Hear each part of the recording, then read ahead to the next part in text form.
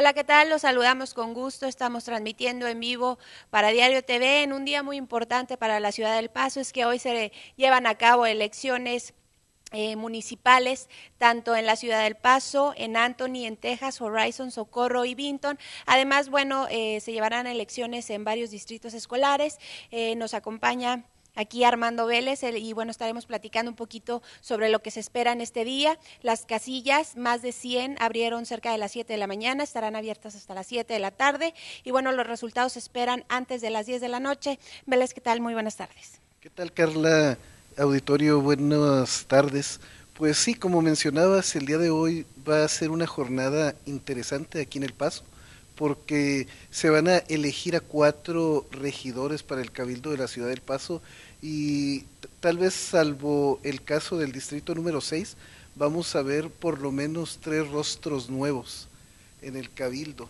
Tenemos en el distrito número 1 una contienda muy interesante con la actual regidora que ya lleva varios periodos ahí, Ann Morgan Lilly, que ha sido retada por otros seis contrincantes, pero una de ellas, Laida Nes García, interpuso esta semana una demanda ante la Policía del Paso, ya que acusa a Ann Morgan Lilly de utilizar recursos públicos como el teléfono o la oficina en la ciudad para, para realizar su campaña.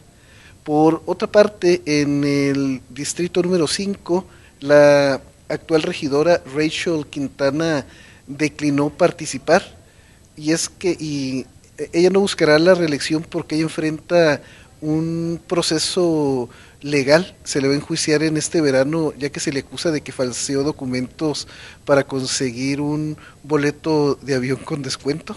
Entonces ella deja su lugar vacante y en el distrito número 5 hay cinco contendientes, de los cuales Mayela Mejía y el doctor Mike No eh, son los que, según las encuestas, tienen mayores posibilidades de ganar. Incluso se habla de la posibilidad de que haya una elección de desempate. Y Mayela Mejía es una persona que trabajó como secretaria del representante Steve Ortega, entonces ella tiene conocimiento de cómo manejar la ciudad y el doctor Noé es una persona muy conocida. Por otra parte, en el distrito número 6, Eddie Holguín Jr., él está buscando la reelección y está enfrentando a Gerardo Rosiles y Zulema Lazarín. Muchos mm, prevén de que Holguín va a reelegirse sin problemas. En el distrito 8 también hay un fenómeno interesante porque el regidor Beto O'Rourke, miembro de una familia política muy connotada en El Paso, él decidió que no va a buscar la reelección. Entonces existen varios candidatos como Corny Nyland, Jorge Artalejo, eh, Sergio Contreras, Malcolm McGregor y Ernesto Villanueva. La que la persona que según las encuestas lleva la delantera es Corny Nightland, una contadora economista que llegó de, de Houston a establecerse el paso a finales de los noventas. Otro fenómeno que tenemos aquí es el de los candidatos con un trasfondo eh, cristiano conservador, como es el caso de Sonia Brown, sí, en el Distrito 5. Mm, y también tenemos a Elmeni Hinojosa en el Distrito 1 y a Zulema Lazarín. Y Malcolm McGregor también, tercero que está en el distrito número 8. Este, recordemos que, por ejemplo, Sonia Brown es esposa de Tim Brown, una persona eh, muy importante para toda esta ordenanza de los valores eh, familiares tradicionales, que, que, bueno, viene a dejar a más de 200 personas de seguro médico. Sí, este grupo mm, que eh, está compuesto por miembros de iglesias cristianas mm, fundamentalistas, ellos se opusieron a que la ciudad le diera beneficios de salud a parejas no casadas de, y parejas del mismo sexo. Entonces ellos como se convirtió en un lío legal que ahorita lo van a definir las cortes, ellos decidieron lanzar sus propios candidatos para poder empujar desde adentro del cabildo esa agenda conservadora y si ganan pues sería un fenómeno muy interesante aquí en El Paso. Claro, y bueno, también una decisión importante que se va a realizar este día es eh, en Socorro, ¿no? En donde, bueno, la, la, la población va a decidir si Gándara continúa en el puesto o no. Sí, como dicen Pueblo Chico, eh, Socorro Grande o Pueblo Chico Infierno Grande, en Socorro el alcalde Willy Gándara Senior está enfrentando la destitución. Y es que Gándara ha sido acusado de corrupción por el FBI, ya que al parecer cuando era miembro de la Junta Escolar del Distrito de Socorro, él recibió un dinero para beneficiar unos contratos de servicios de salud. Y Gándara pertenece a una familia con una amplia tradición política en el área del Valle. Su hijo Willy Gándara Jr. es comisionado en el condado y ellos siempre han ocupado varios puestos. Y el Willy Gándara ganó el año pasado la elección con un margen muy pequeño contra el anterior alcalde, el, el anterior alcalde de Socorro. Entonces, bueno, todas las elecciones, todas las decisiones que se tomen este día tendrán que ser eh, bueno, los elegidos, por así decirlo, tendrán que tener eh, más del 50% de los votos para, para, poder ocupar estos puestos. Y bueno, sobre todo las decisiones que se estarán haciendo en torno a los distritos escolares. Eh, es un tema muy importante precisamente para Anthony Canutillo y Socorro, especialmente que es donde estará la gente pues aprobando o no si se hace, eh, es una elección de bonos para tener un poco más de recursos, para poder hacer frente a la mayoría de los niños que, que bueno, ahorita están saturando las escuelas y esto, bueno, que implica más pago en los impuestos para todos los, los eh, pues, para toda la ciudadanía. Sí, esto implica de que la gente va a tener que pagar más impuestos de propiedad y ha sido un tema muy controversial porque por una parte la crisis es tal que en Canutillo ya han recortado plazas de maestro en en Anthony también, pero por otro lado parece ser que eh, tradicionalmente en el paso se han rechazado este tipo de propuestas de bonos y esperemos ver cuál es el resultado de, de esta solicitud.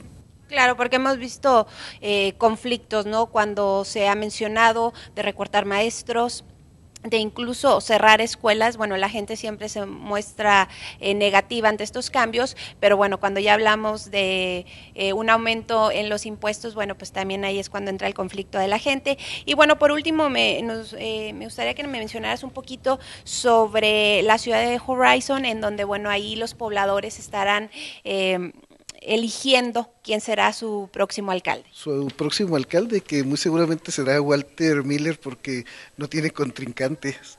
Y también en la ciudad de Anthony, el actual alcalde Art Franco, él está tratando de reelegirse, ya lleva varios periodos. Y son ciudades que forman parte de la zona metropolitana del Paso, pero que tienen sus problemáticas muy particulares. Perfecto.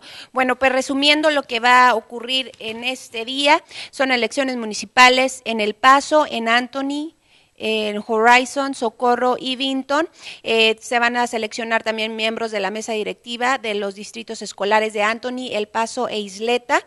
Elecciones de bonos en Anthony, Canutillo y Socorro. Y por último, ratificación de impuestos en Canutillo. Les recordamos, las votaciones son desde las 7 de la mañana hasta las 7 de la tarde. Antes de las 10 de la noche se esperan que, que bueno, se den a conocer ya los primeros resultados. Las personas que no eh, sepan dónde está la casilla, eh, se les pide por favor puedan ingresar a la página de internet www.epcounty diagonal. Ahí es donde puede verificar toda la información en torno a este día, en torno a las elecciones que, que se están efectuando. Y bueno, a la gente se le recuerda que necesita mostrar su credencial de votante y una identificación con fotografía que puede ser la eh, licencia de manejar. Sí, eh, queremos hacer un exhorto a todo eh, los lectores y del diario del Paso y a toda nuestra audiencia en Internet que salgan a votar. No, eh, somos en esta ciudad un, más del 80% de personas de origen hispano, pero muchas veces esto no se queda de manifiesto en las urnas. Es una tristeza darnos cuenta que en la elección primaria solamente 3%, person 3 de los votantes acudieron a las urnas. Y muchas veces aquí las contiendas se ganan hasta por 2.000, 5.000 votos. Y eso hace de que los representantes populares no sean realmente los... no, no se conviertan en la representación de la voz de las mayorías. Por eso queremos invitarlos a todos a que salgan a votar. Es un sábado con el clima tranquilo, no hace mucho aire. Después de ahí pueden ir a tomarse eh, sus cervecitas, a comer, a hacer una carne asada con esa satisfacción.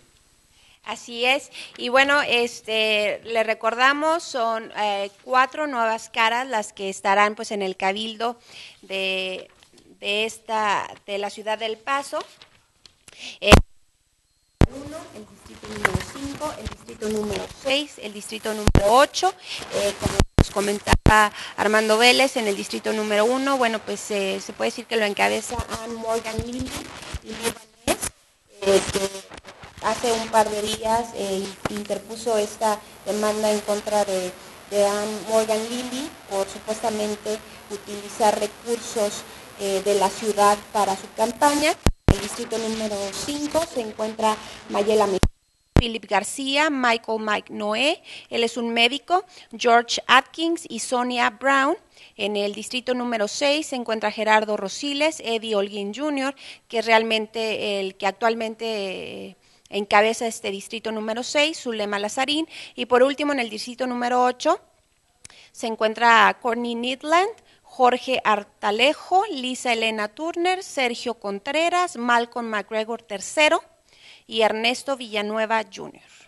Sí, bueno, además de invitar a todo nuestro público a que vaya a votar, y también queremos decirles que el diario va a tener una cobertura en tiempo real de lo que ocurra en las elecciones. Después de las 7 de la tarde se cierran las casillas y aproximadamente a las 9 se empiezan a dar resultados preliminares en el website del, condado. Vamos a tener una liga ahí y después de eso muchos de los candidatos están haciendo ya invitaciones futuristas a las fiestas de campaña donde van a festejar. En algunos casos tal vez se vayan a unas elecciones de desempate, ya que si un candidato no obtiene el 50% de, de los votos, se tienen que ir los dos candidatos que obtuvieron mayor número de votos a una elección de desempate, que eso tal vez podría ocurrir en el distrito número 5. Y mm, básicamente esto es lo que va a ocurrir y estamos en una jornada que puede ser de proporciones históricas. Así que invitamos a todo nuestro público paseño a que salga a las urnas y les estaremos informando a lo largo de esta jornada. Hasta luego. Para Diario TV les informaron Armando Vélez. Y Carla García, recuerden mañana la edición impresa, todos los detalles de la contienda de este día. Hasta luego.